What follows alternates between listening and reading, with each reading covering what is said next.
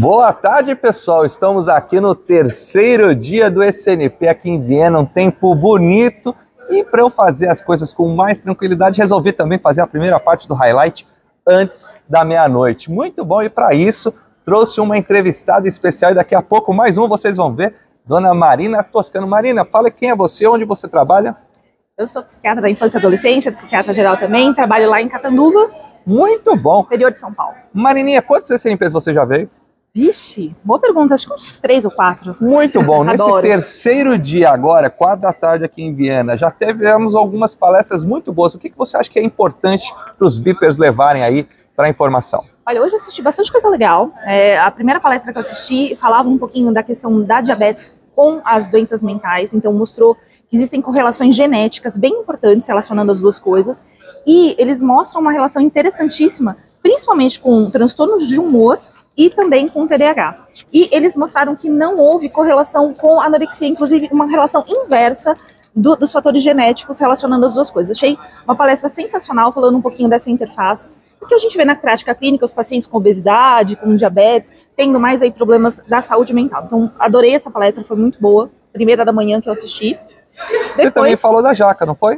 Eu sou super fã da Felice Jaca, né, que estuda essa questão nutricional, a psiquiatria nutricional, que está super em alta. É, vi também uma dela ontem, ela enfatiza essa questão de que Psiquiatria nutricional não quer dizer medicina integrativa, não é exatamente a, a, medicina do estilo de vida, é uma outra questão que, que ela vai estudando as mudanças dietéticas uh, com resultados e desfechos muito interessantes, né? Então ela falou um pouquinho, eu fui na bolha, né, que é um, uma, uma coisa super exclusiva, assim, que você conversa com palestrante super de perto, e ela contou um pouquinho do estudo dela, que fez uh, modificações na dieta, e aí o pessoal melhorou dos quadros depressivos, e super interessante que apesar das pessoas terem melhorado, o, o, índice de massa corpórea deles não mudou. Eles já tinham o IMC alto, acima de 30, e não mudou. O que muda é o desfecho na saúde mental, e não necessariamente no peso. Achei essa informação muito interessante. E você falou também um pouquinho da questão da vida da pessoa que te influenciou de certa forma. O que, que você levou para a vida da informação de lá? Eu achei assim, super bacana porque a Felice ela disse pra gente que ela é formada em Fine Arts, então ela né, totalmente da, da filosofia, das artes, e, ela foi estudar, fazer o PhD dela depois dos 40, depois de velha, assim como eu tô começando na pesquisa que agora isso? também. Que é isso? e assim, me deixou super inspirada, porque, puxa, né, ela é um grande nome hoje na, na pesquisa e na ciência, e inspira, né? Você vê que não tem idade para começar a estudar, fazer pesquisa, e foi muito legal o papo que eu tive com ela, eu adorei tietei um monte. Muito bom. E aqui para vocês verem como o trabalho é feito em conjunto, temos mais um Biper filmando, doutor professor Bruno Reis, que daqui a pouco vai estar com a gente invertendo os papéis e eu vou falar um pouquinho sobre algumas palestras que ele viu. Voltamos daqui a pouco. Muito bom. Agora, como a gente faz tudo e eu estou sozinho agora, peguei aqui para entrevistar Moniquinha, Mônica Lumac. Mônica, me fala de onde você é. Eu sou do Rio de Janeiro. Muito bom, Mônica. Quantos SNPs você já veio, Mônica?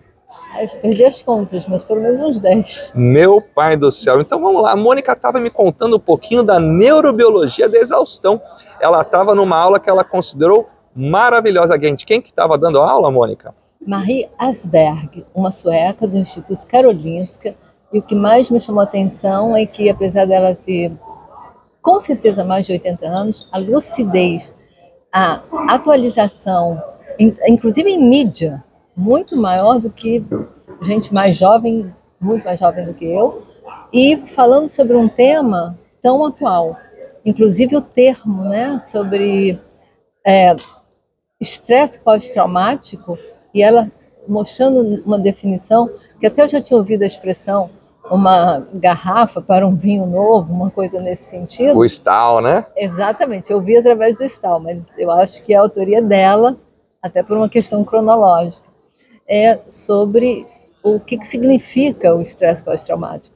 E ela fez uma diferenciação muito interessante do que, que é a depressão, do que, que é a ansiedade diante do estresse pós-traumático. Não vale a pena aqui se estender, mas ela começa mostrando que isso foi uma publicação em material de estudo em, por volta de 1800 e alguma coisa, com Beard e novas eh, definições na época, né, de neurastenia, é, de depressão somática, outros termos que não o estresse pós-traumático. E o mais interessante é ela faz o paralelo do que, que é a depressão, a ansiedade e as alterações musculoesqueléticas, né, como o Luiz falou. Na fibromialgia, fibromialgia não é isso? exatamente. Você trouxe dos termos também, Moniquinha, do burnout em relação à exaustão, as confundimentos, que confundimentos, palavra estranha, né? é, da confusão que existe entre os termos. Quais são as grandes diferenças que ela trouxe na neurobiologia? O que, que por exemplo, o burnout causa que a depressão não causa ou vice-versa? É, a primeira coisa que ela ressaltou foi o quadro agudo, né? E o quadro agudo, no primeiro momento, na atualidade, é definido sempre vinculado a uma questão de trabalho. Né? A pessoa que tem burnout por excesso de trabalho ainda mencionou Covid, é, como isso está sendo chamado e enaltecido no sentido de a ser prestado atenção, né? Nosso português está bem aqui, né? depois de um dia de tudo em inglês, né? Em é, alemão, em a inglês. A gente já não sabe que língua fale. Enfim, mas uma coisa que ela chamou muito importante é a questão do pródromo uh, e a questão do, do quadro agudo, o burnout como sendo uma questão aguda e outra coisa super válida que é o prognóstico, né? A depressão é, nós sabemos que nem sempre é curável, tem um longo tempo. É, a ansiedade, principalmente o tag, the same thing. Mas esse é uma coisa aguda, né? é uma manifestação aguda, que tem os sintomas de fadiga, que tem dificuldade de memória. Ela, ela, ela trouxe sintomas muito semelhantes à depressão e ansiedade, mas, sobretudo, ela chama tiredness, né? Que é a dificuldade de memória, de exercer funções, inibição, atenção e fluência. E ela ressaltou: tem o deprimido que tem fluência para falar, né? tem o ansioso que presta atenção, né? de uma forma diferenciada. Então, ou seja, burnout é doença ou não é doença? Ele, ela diz que não deve ser considerada uma comorbidade médica. Muito bom. Causa demência ou não causa demência? Não causa demência. Por quê? Não causa demência porque tem cura, tem tratamento e não tem essa característica evolutiva. Ela diz que em dois anos, mais ou menos, tem como se ter a reversão disso. Muito bom, Moniquinha. Você sempre traz muita erudição, gosto muito, todos os autores que você traz.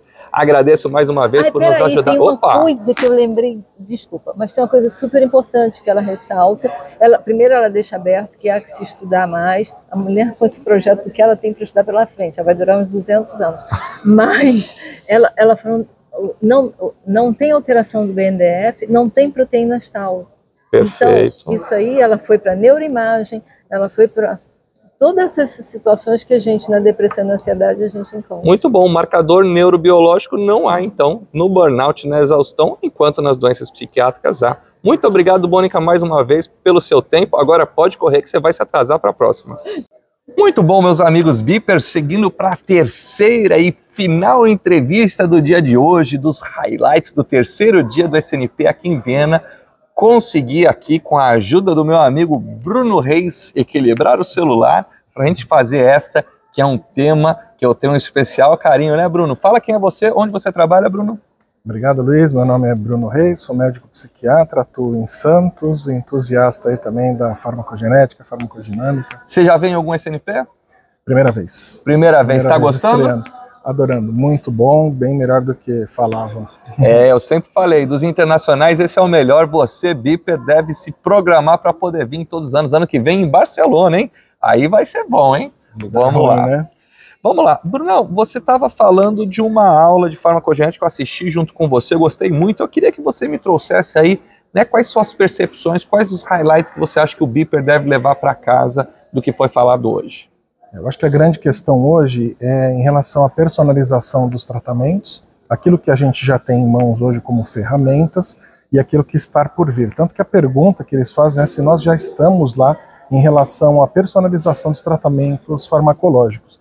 E eles trouxeram é, não só apenas as questões do, dessas ferramentas de exames farmacogenéticos, aqueles que temos disponíveis inclusive no Brasil, em que vemos genes de metabolização, de resposta, de toxicidade, mas eles trazem agora um conceito chamado de farmacotranscripton, farmacotranscriptômicos. fármaco-transcriptômicos. É, bem, esse conceito é importante. Se né? já estava complicado, espera um pouco agora. é um pouquinho complicado, mas acho que vai, a gente vai conseguir passar. É, porque o que, que, acontece? Hoje a gente não tem um biomarcador que seja muito confiável ao avaliar as populações, uma vez que há uma grande variação na, naqueles genes encontrados, principalmente os de metabolismo, 2C19, 2C9, 2D6, é, 1A2, aqueles mais utilizados, né, principalmente em relação aos antidepressivos.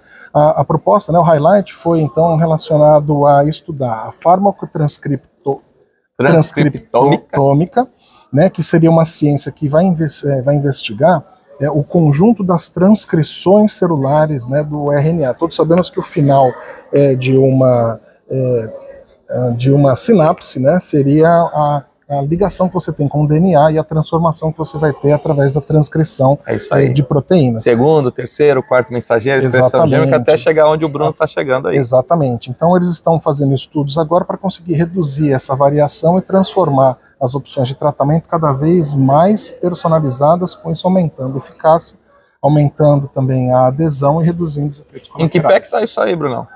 Então, eles ainda não chegaram, estão estudos ainda, é, é, eu não me lembro se fase 2 ou fase 3, Luiz, é, mas eles estão é, avançando nesse quesito, e, e, a ideia é que você tenha já algumas respostas no futuro que sejam baseadas na pesquisa é, da transcrição gênica do paciente, não mais só em relação à farmacogenômica. Muito bem, como é que eu gosto de diferenciar? No Masterclass a gente gosta de falar do dia a dia, da receita de segunda-feira. Isso aqui vai estar disponível para o Beeper na segunda-feira? Não, não vai, né? Não vai. Infelizmente não, a gente está falando mais em relação a futuro, mas o que a gente tem disponível, lembrando é, os exames é, farmacogenéticos e a, as indicações que a gente tem para pacientes que são é, resistentes a tratamentos, uhum. que não responderam a dois, três tipos de tratamento com dosagem máxima, esses acabam sendo pacientes interessantes da gente pesquisar é, do ponto de vista farmacogenômico. Todos os autores ali, eu lembro, os, os, expositores, me pareciam ser favoráveis ao uso ali da farmacogenética, correto? Correto, é a minha impressão também. Exatamente. Então, o que a gente sabe, né, complementando aqui, basicamente, que os genes farmacocinéticos estão prontos para o uso, principalmente 2D6 e 2C19, os genes farmacodinâmicos, todas as dificuldades que a gente sabe aí que Sim. enfrentam. E agora o Bruno está pondo um grau a mais de dificuldade aqui, que é a transcriptômica, exatamente, que é a gente avaliar a transcrição final do RNA. Muito bom.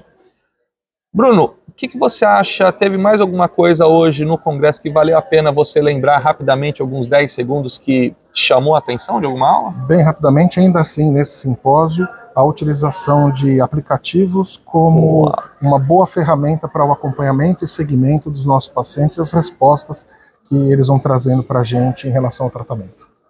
Muito bom. Mais alguma coisa que você gostaria de falar, Bruno? Que venham ao CNP e que nos vemos em Barcelona. Barcelona com muito calor, se tudo der certo. Muito obrigado, Bruno. Encerramos aqui então. No final do dia, eu devo fazer o um encerramento se tiver mais alguma palestra que vale a pena ser ressaltada. Muito obrigado, Bruno. Valeu, Até a próxima, querido.